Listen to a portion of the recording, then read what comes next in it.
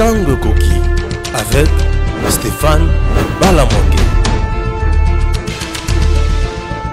À vous tous qui nous suivez de partout, chers Congolais, nous sommes là. Nous sommes là, l'émission sur on a ça il y a 400 militaires dans la brousse. C'était une question que j'ai posée. Et ce que peut Bolandi dans quatre émissions, j'avais demandé, je me posé des questions.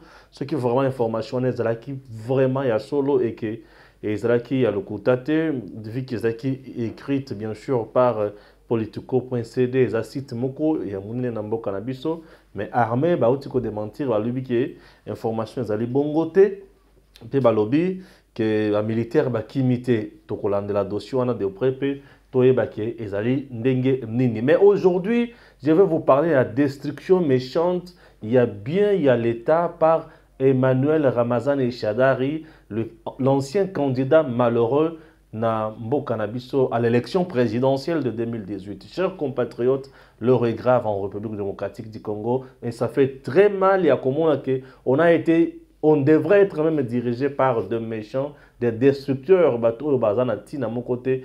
Il y a Kozala vraiment libre dans la société congolaise. Avant toute chose, commencez par vous abonner. Abonnez-vous appuyez la cloche pour recevoir les notifications et la publication d'Abisso. Et en plus de cela, partagez nos liens pour na baninga mususu bazwa pe bayeba d'information na chaîne Nabino Edem TV officiel. Merci. Alors, Emmanuel Ramazan Shadari, il est qui dans ce pays? Emmanuel Ramazan Shadari dans notre pays, fille ministre, fille député national, Emmanuel Ramazan Ishadari fit candidat président de la République démocratique du Congo. C'est-à-dire que l'homme connaît le pays, connaît les lois du pays, c'est-à-dire que l'homme avait une vision pour le pays et l'homme avait des ambitions pour diriger Mboka na biso.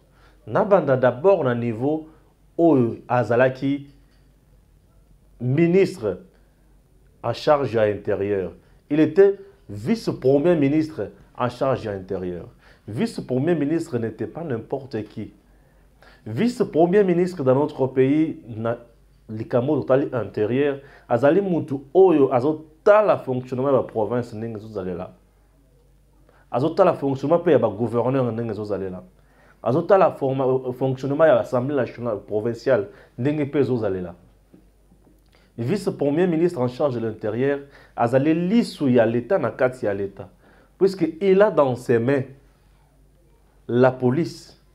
La police pour faire quel travail Pour protéger la population na Vice-premier ministre en charge de l'intérieur, na vice na, ministre de défense, bazali bato bazana kati ya secteur kaka ya sécurité vice-premier ministre en charge intérieure aza mpe na baservice mosusu oyo ezozala lie mpe na ye aza presque na domaine moko na président de la république. Pourquoi? Puisque le président de la république le chef de l'état et le chef d'état qu'est-ce que je dis? Il est le commandant suprême des forces armées le chef de l'état tina owapi. Il nomme les hauts fonctionnaires na kati armée. Le vice-premier ministre en charge de l'intérieur n'est pas n'importe qui.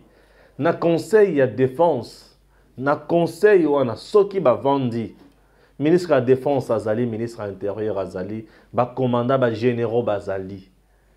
Na conseil de ministres, soki président azolinga asala état de lieu sur la sécurité ya mboka. Soki a lobby à Silici, le chef de l'État, va très bien que le vice-premier ministre en charge de l'intérieur prendra aussi la parole pour parler sécurité. Après lui, je vous assure que le ministre de Défense prendra également la parole. Tout ça, c'est pourquoi? C'est parce que Bazana Kati a dirigé dans le secteur Moko. Il y a sécurité. La sécurité intérieure et extérieure du pays. Et Kati a ministre de la Défense, puis le ministre de l'Intérieur. Un ministre de l'Intérieur n'est pas n'importe qui. Sous d'autres dossiers, c'est le ministre de l'Intérieur qui organise même les élections.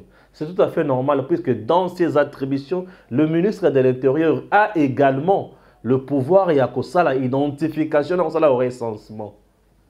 Ministre et intérieur. Ministre et intérieur, tant que na régime et centralisation l'air la province comme décentralisé ministre et intérieur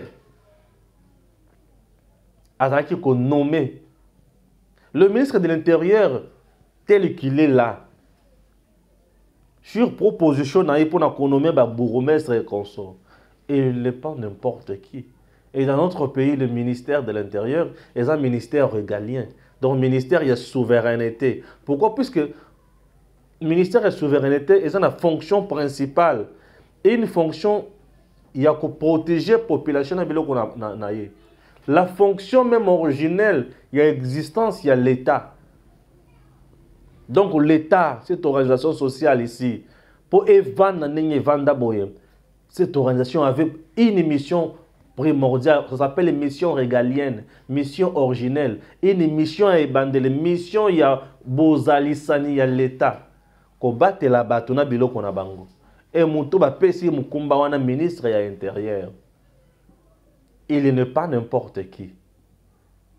Et Shadar était ministre de l'Intérieur dans notre pays. Mais quel est son bilan comme ministre de l'Intérieur? Il avait violé l'arrêt de la Cour constitutionnelle, réhabilitant Kazembe comme gouverneur dans le Haut-Katanga, l'homme qui a été déchu, bien sûr, par l'Assemblée provinciale. La Cour constitutionnelle a constaté des irrégularités dans la procédure a réhabilité Kikazembe et Chadar s'était opposé à l'arrêt de la Cour constitutionnelle. L'homme n'est pas son à, son premier forfait. Il s'était opposé à l'arrêt de la Cour constitutionnelle. En s'opposant à l'arrêt de la Cour constitutionnelle, il avait même violé la Cour constitutionnelle. Il avait violé même la, Constitution. Puisque les arrêts de la Cour constitutionnelle ne souffrent d'aucun délai et ne sont pas discutables. Mais Shadar s'était opposé à ça. Et personne ne l'avait inquiété. Le même Shadari, quand il a vu que Kabila était au soir et à pouvoir Shadari s'était payé également le luxe d'aller saisir la même cour constitutionnelle qu'il boycottait. Regardez dans le régime dans lequel nous étions. Chadar arrive même là pour demander à la Cour constitutionnelle d'interpréter l'article 70, où il y a que le président de la République reste en fonction jusqu'à l'installation du nouveau président élu. Chadar interprétation article 1. Vous comprenez? Alors, Chadar était député national dans ce pays. Un député national, c'est qui? C'est un élu du peuple. Nous avons un pays qui a une démocratie représentative. Un député national, c'est un élu du peuple. Il fait quoi comme travail? Il contrôle le gouvernement. Il contrôle le mandateur. Il vote le budget. Il investit ensemble avec les autres, le gouvernement et le projet. Il sanctionne le ministre. Il sanctionne même le Premier ministre via la motion de défiance ou de censure. Un député national fait des enquêtes parlementaires. Un député national connaît les lois, puisqu'il fait ce qu'on appelle la proposition de loi pour voter des lois, lorsque ça vient de, de, de, lui. Mais lorsque ça vient du gouvernement, on appelle ça projet de loi. Un député national connaît les lois, il maîtrise la constitution. Chadari était député national. Chadari était député national. Donc il maîtrise même Shadrach ne s'était pas, pas limité là. Au moment où tout le monde attendait le dauphin, M. Joseph Kabila, Chadari, Abimaki dauphin, Kabila Ponaki a désigné qui est comme dauphin. Bah, désigner Chadari comme dauphin. Chadar a-t-il battu, battu, campagne vraiment comme dauphin? Oui, là, il a allé dans quelques provinces, Bistika, tomona shadari bazosambelela ye epai ya olive lembe. Olive lembe ko paster te prophétesse te diagonesse te apôtre mpe te olive lembe atelema liboso ya bato atie shadari loboko. Shadari angunzami olive lembe asambeli shadari tala bato ndenge bazwaka bilakeli mabe tala bato ndenge bazwaka bilakeli mabe alors candidat président de la république candidat président de la république c'est-à-dire il avait une vision pour la rdc Chadar avait un programme pour diriger le Congo. Un gros programme. Et dans ce programme, Chadar nous parlait de la bonne gouvernance. Il nous parlait de la bonne gouvernance, je vous dis. Il nous parlait de la lutte contre les impunités. Chadar nous parlait de la lutte contre les impunités. Il nous parlait de la présence de plusieurs groupes armés à l'est du pays. Oh, Silisa. Chadar nous avait parlé de ça. De la bonne gestion. Lutte contre la corruption. Chadar a parlé de tout ça dans le programme. Dans le pays. Et ça, Chadar. Oui, l'homme nous a parlé sur le programme. Alobelaka biso biloko nyonso wana na programme na ye nalobi ah bon? C'est que il gère le pays ensemble avec les autres mais dis-moi il sait que les impunités existent oui. Il gère le pays ensemble avec les autres, mais dis-moi, il sait que la corruption existe. Très bien. Il était vice-premier ministre en charge de l'Intérieur. Oui, certainement, il devrait savoir que les groupes armés exister. Oui. Mais n'y a ça la capo le connaissait. Je vais être incompétent de faire tout ça. Maintenant, pour quelqu'un qui a été candidat président de la République, c'est-à-dire la Constitution, il connaît. Puisque le président de la République a noté au-delà de la Constitution. Azos en makamonyo so o ezali régime na kati constitution. Jadari. Candidat président de la République, c'est-à-dire mutu oyo peza yebi mibeko ya mboka. Pour gérer mboka. Oui, azaki mutu moko qu'il te remercier. To féliciter tout le baki. Hmm, mokonzi oko gérer mboka. Maintenant, Shadari aujourd'hui na ntango nyonso azosala makambo nyonso wana asalaki eloko tobenge spoliation ya ndako ya leta spoliation ya ndako ya leta elingi koloba nini? Azwaki ndako ya leta ekomi ya ye azwi ndako ya leta ekomi ya ye ye nani? Homme fort. Homme fort. Mpo ye homme fort. Comment expliquer un individu peut prendre la maison de l'État? Et comme aye et lakisi kaka lolenge tozalaki dirige. Elakisi bato oyo banda kokamba mboka oyo. Elakisi impunité. Est-ce qu'il ne savait pas ke ndako wana ezalaki ya l'état? Ayebaki yango leur sikoyo batelemeli balobi awa esengeli bato oyo baza na bandako l'état bazongisa yango. Eshadari kobima ndako, ya leta yango azobima. E abimi atiki ndako ya leta ndenge nini? Abuki. Mur sali babuki buki buki bavitre et ça s'appelle destruction méchante non seulement akimi na ndako ya leta mais abuki babuki yango lisusu badétruire yango ça ne doit pas rester impuni. Ça ne peut pas rester impuni. On doit le sanctionner. nauti kotanga bafonction aokipa na oyo abanda kokana kookipe pour vous montrer qu'il n'est pas n'importe qui pour vous montrer que azali motu oyo akoki kozala akoki kozanga koyeba mibeko te. Ayebi mibeko.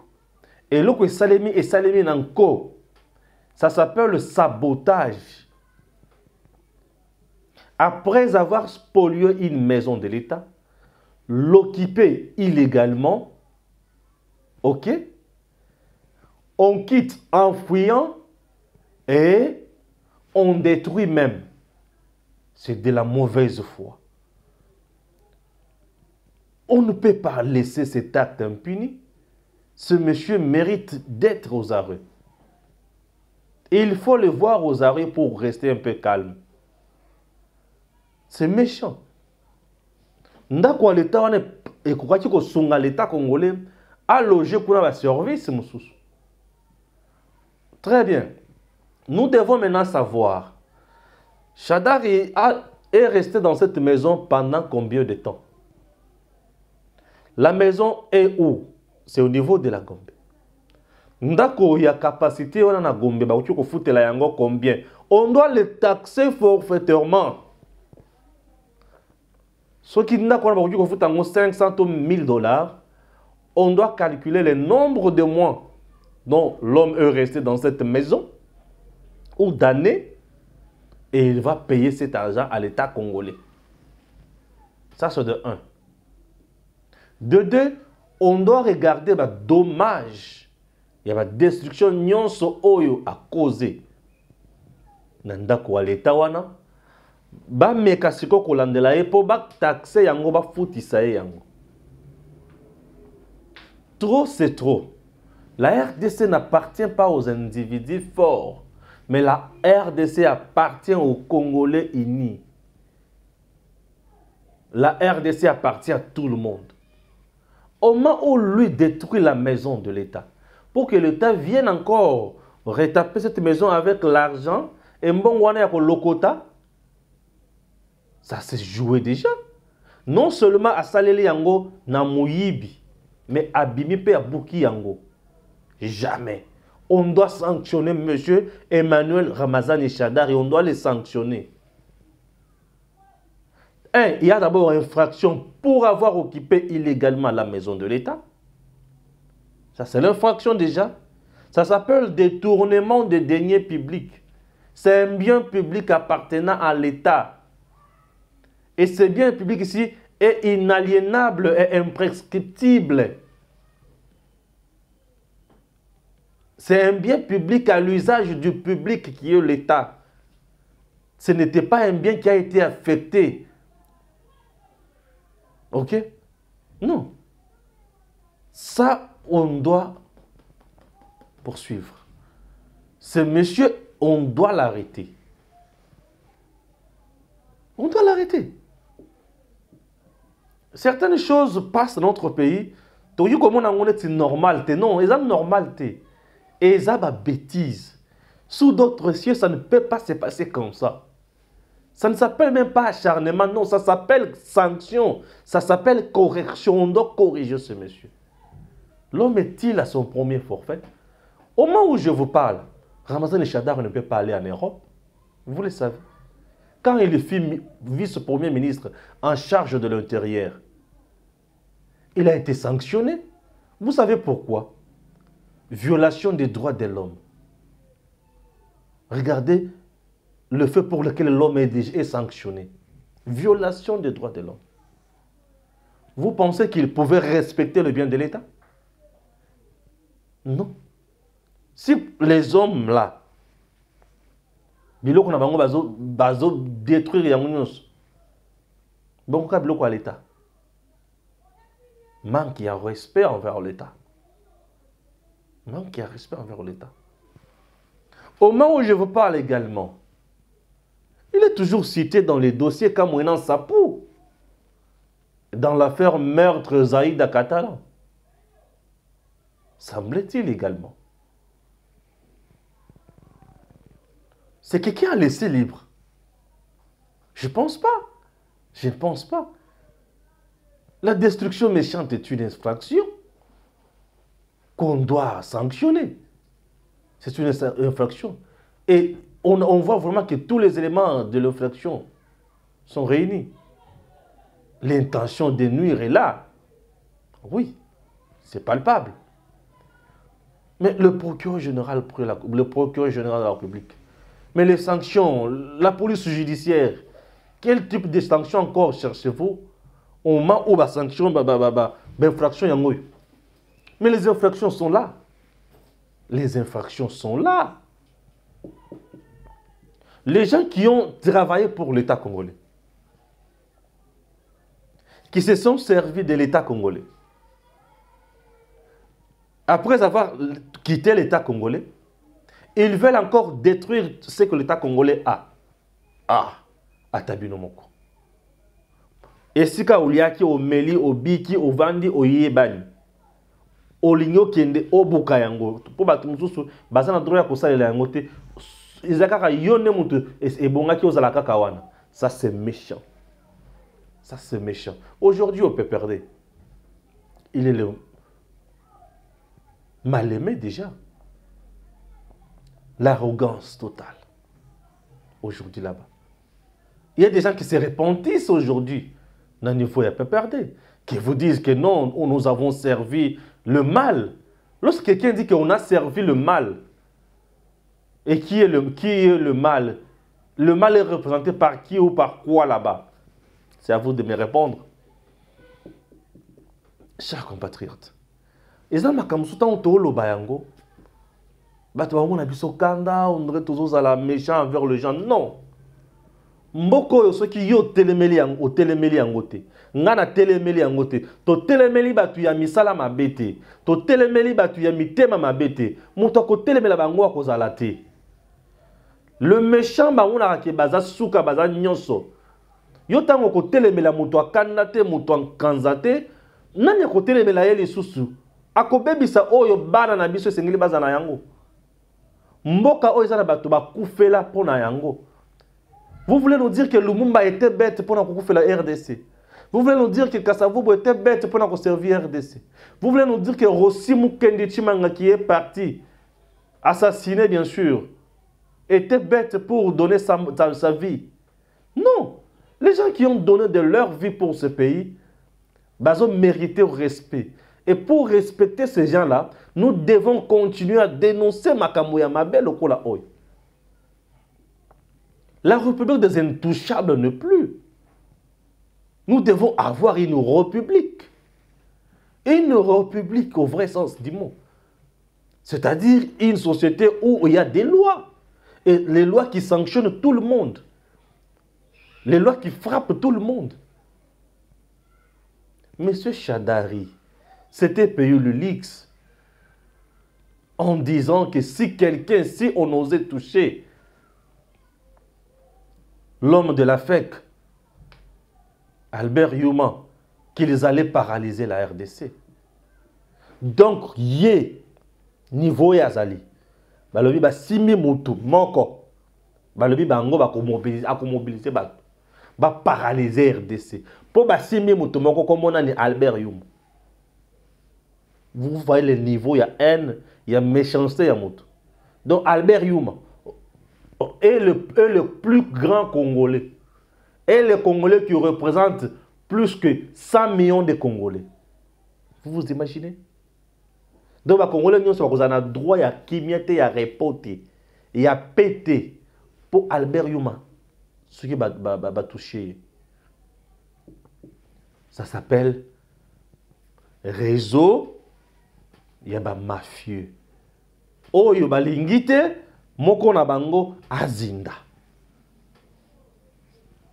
Qu'est-ce que la justice congolaise attend pour mettre la main sur M. Chadari? Qu'est-ce que la justice attend? Puisque il devient de plus en plus mutu. Oyo esengeli bakanga. Ndako ya leta osaleli yango na moyibi. Bazoya mpo balobi bima ndako ovandi obandi kocrie mobulu lisusu. C'est inconcevable. Inconcevable. Ça ne peut pas passer. Peuple congolais ya na biloko mosusu soki tovandi tolobela yango boye bato esengeli bacomprendre que ça fait très mal ça fait très mal. Pourquoi ça fait très mal? Parce que souci na biso eza ke mutu nyonso azala na part ya responsabilité na comme il se doit. Mutu nyonso asalela mboka na bi asalela mboka na biso. Toza na bosenga ya bato bazoya kodétruire mboka te. Kodétruire mboka ezobanda kaka na odétruire toilette odétruire nzela odétruire ndako ozodétruire mboka nyonso yango wana ozokenda kodétruire te vous vous imaginez? Oza na kati ya kodétruire mboka. Bandeko il y a des gens dans notre pays aujourd'hui oyo esengeli kolandela bango malamu mpo soki tolandela mosusu te na bato mosusu te tozoyeba eloko tozosala te. Oyi tozoyeba eloko tozosala te. Bato bakoganga o oh, chasse à l'homme. Bato ya kotosa nde bango oyo bato ya kotikela kimia nde bango oyo ya motinda boye. Motindo oyo. Te bakotikela moto ya boye kimia te. Moto ya boye esengeli arépondre na mibeko. Mpo soki arépondre na mibeko te bon tozokóma na fulu. Eh,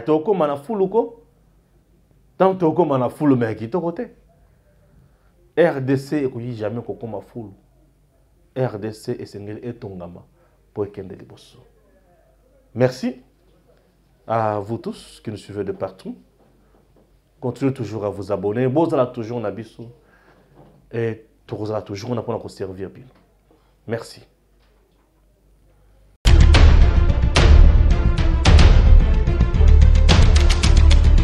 Tango Koki avec Stéphane Balamongue.